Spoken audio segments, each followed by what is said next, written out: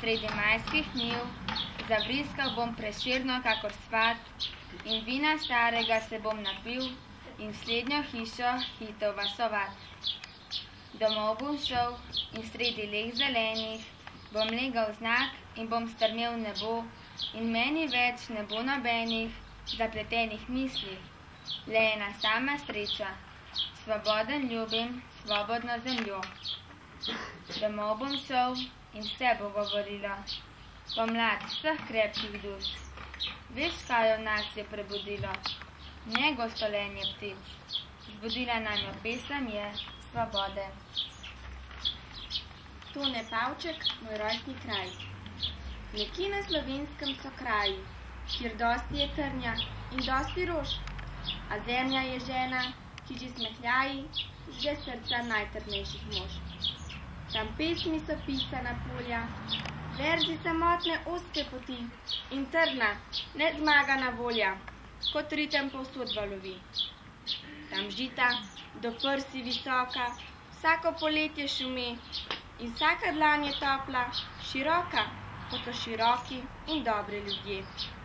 Tam gre življenje od leta do leta, vedno, isto, vedno isti zaključeni krok, dokler v grob ne pospremijo kmeta, vaščani in zemlja in Bog. A smrt nič ne menja, ne zbriše. Polje ostane in delo in kruh in po starem beljene nizke hiše in v hišah po starem življenju duh. Iste, prastare podobe na steni in večno enake skrbi. Življenje, trese in peni in zvon, ki le tole doni. Nekje na slovenskem so kraji, hiša, vinograd, košček polja, tam so meseci sami maji in tam sem nekoč bil doma. Gori, ti, gora, ki v vaš starosti stoletni, na tebi ne pozna se časovost. Povrne se na zemljo čas prijetni, nekdanjo zlije česte spet mladost. Cvetoča gledala si ti narode, cvetoča videla ni hrast in pad, čutila nisi ti moči usode, še zdaj, ko nekdaj ti obraz je mlad. Ko jaz v gomili črni bom počival in zelen mah poraste nad menoj, veselih časov srečo bo užival, imel bo jasne dneve narod moj. Takrat se poči zopet ti opravi, pozdravljala boš pomladani svet. Takrat moj narod, gora, mi pozdravi, Now look for nicely Sino in the crate.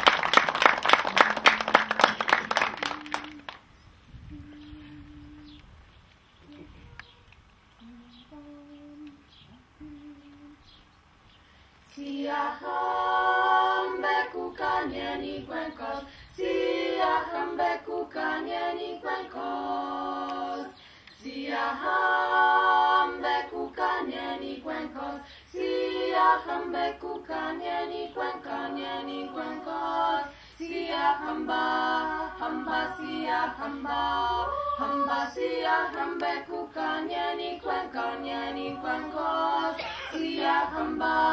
hamba sia hamba hamba siap tembekukannya nikuangkos we are my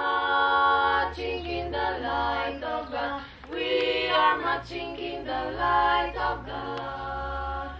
We are marching in the light of God. We are marching in the light of the light of God. We are marching, marching, we are marching, marching, we are marching in the light of the light of God. We are marching, marching, we are marching, marching, we are marching in the light of God. Siahambe kufanya ni kwako, siahambe kufanya ni kwako.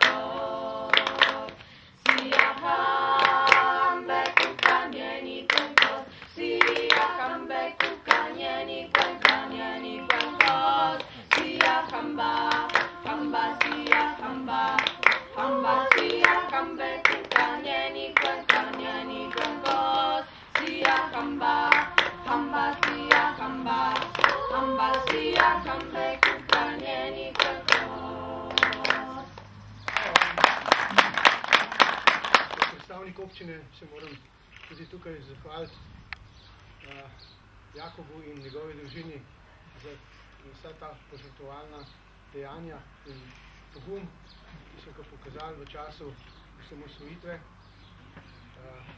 v tej priliki bi rad povedal, da uh, mi na občini uh, vsekakor uh, v veliki meri podpiramo ta dejanja in uh, v največji meri tudi uh, pri, pomagamo pri postavitvi obeležij, tako da uh, vse pobude bomo še naprej sprejemali in uh, seveda tudi realizirali.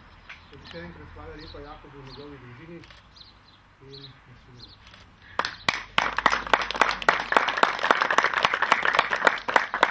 Spoštovani domači in ostali prisotni. V mesecu juliju bo, preteklo natanko 22 let, ko smo na to mesto, ki so ga s kolegom Franjem Žagarjem imenovala Salaš, pripeljali prvi kontingent sredstev zvez in šifre za tajno poljevanje takratnih enot mestnega štaba teritorijalne obrambe Ljubljana. Tako so se začele praktično udejanjati načela in naloge manevrske strukture narodne zaščite.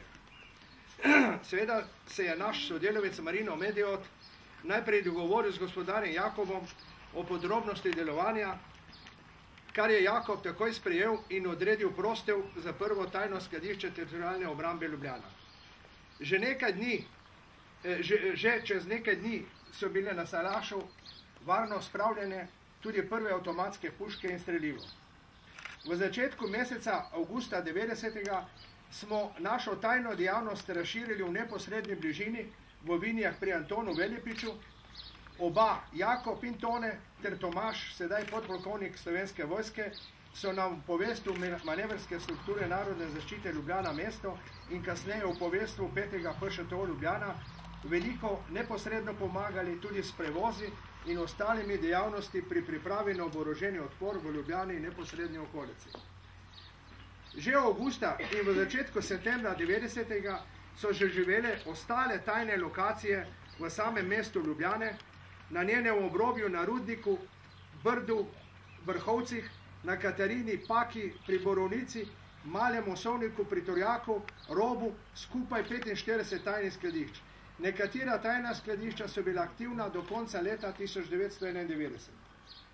Privolitev domačinov, pri katerih smo tajno skladiščili oborožitev, streljivo, minsko-eksplozivna sredstva in ostalo vojaško opremo, je narekovalo veliko tveganje za sebe in svoje družine.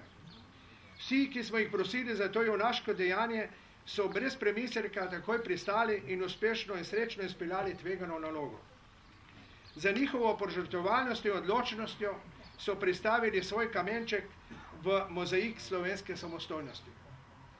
V času manevrske strukture narodne zaščite smo se aktivni nosilci tajnega delovanja pri pripravi oboroženega odpora striktno držali in upoštevali navodilo vodstva manevrske strukture narodne zaščite, da si zasluge za dejanja osamosvojitve ne more lastiti nobena politična stranka, še manj pa posamezni politik.